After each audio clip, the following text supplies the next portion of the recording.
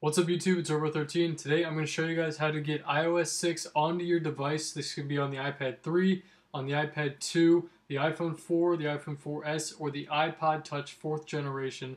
Uh, and you guys can get all of this without a developer account. This is 100% free, and this is beta 1 of iOS 6. Okay, the very first thing you guys want to do is download iOS 6 for your specific device. I'll have links in the description so you guys can do that. I already have my iPhone 4 right here. Uh, this is just, it says iPhone 3, but that's just the code name for it. It's uh, This is the iPhone 4 for the 6.0 firmware, and here's the iPad 3 for the 6.0 firmware. I'm going to be using this one for the iPad 3. I'm going to show you guys exactly what to do to get your device to recognize it and to activate it without a developer account. This is 100% free as well, so you guys won't have to worry about it, and it will work on your device. This is for beta 1, by the way. This might not work for the later versions of the beta, but for beta 1, this will work for right now. You also need to download the newest version of iTunes. This thing is 10.6.3. That will let you actually use iOS 6 for your device. So I'll have all the links in the description for you guys to download that stuff, and you'll be ready to go right after this. So after you downloaded the iOS 6 beta, you then need to make sure you back up your device for one. Back it up so you guys can uh, put it all back on once you get to iOS 6. But first, back up your device. But make sure you guys do all that first, so don't be blaming me for all that stuff. But after you do that, then you need to restore your device to 5.1.1 firmware. Uh, I don't know if you guys can see this or not, but I have the iPad right here. Uh, it is fully restored to 5.1.1. I had videos before when I was on iOS 6, but this is fully restored, so I'm going to go through the setup process. And you can go up the set, through the setup process on your iPad. So I'm going to do that really, really quick. Okay, and then once you get to here, the setup as new iPad, you do want to set up as a new iPad. Don't worry, once you get to iOS 6, you can still put all your stuff back on. Um, but once you get here, you do want to do setup as new iPad, hit next. And then you don't even have to sign up with your Apple ID. You can just hit skip this step if you want to. And then once you get to the next step, hit agree. And then you can choose to use whatever you want. Okay, and then once you get to here, you can just hit start using iPad. So now you're on a clean uh, install of 5.1.1. Then you have to then plug into iTunes like I have right now. Plug it into iTunes. Once you do that, bring up iTunes. And then you can uncheck these if you want and just say whatever it is. Hit done.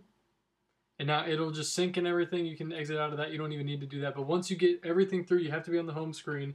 You then get to here. Once you get to here, you want to stop any of the syncing if it's going on. You want to stop all that. If you're on a Mac, you want to hold an Option. And if you're on a PC, you want to hold in Shift.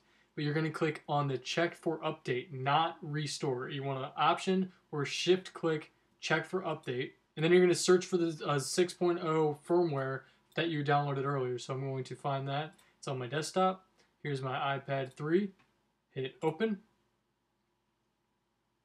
You'll see iTunes will update your iPad to uh, iOS 6.0 and verify the update with Apple. Hit uh, update. Now it'll be extracting the software. And since you did check for update, it will, I guess, trick the iPad into thinking it's already uh, updated to that and then it'll update it straight into iOS uh, 6. And you do not need a developer account. So once this is fully done, uh, I'll show you guys what's it right after this. Okay, and it looks like my iPad is fully done now, and it'll bring you back to this kind of a screen. Now, if you go through it, you should notice that you're already done using the entire um, setup process. Now you can just use Siri, for this is for the iPad, by the way, and then just hit start using iPad. You don't even have to go through and set up anything because you already had it uh, pre-registered, I guess, with iOS 5.1.1. So again, the steps really quick is you want to restore this to 5.1.1, go through the whole thing, set up as a new device, brand new device, then go into iTunes and you want to uh, shift click or option click on check for update. Do not click on restore. Do not shift click on restore. Do not option click on restore.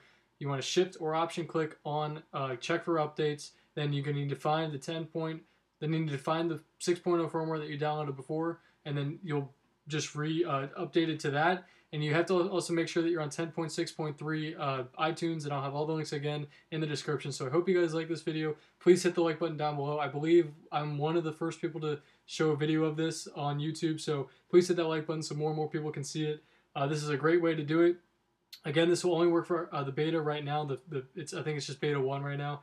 Um, but there, it might not work for the betas in the future. So if it if it doesn't work for those, I'm sorry. I'll try to find more ways to get that to work. But currently, this is working for the beta one. So go ahead, have fun with this. Again, this will only work on the iPad 3, the iPad 2, the iPhone 4, and the iPhone 4S, and the iPod Touch fourth generation. So please have fun with that. Hit that like button, hit that subscribe button, and I'll see you guys next time. Thanks, guys.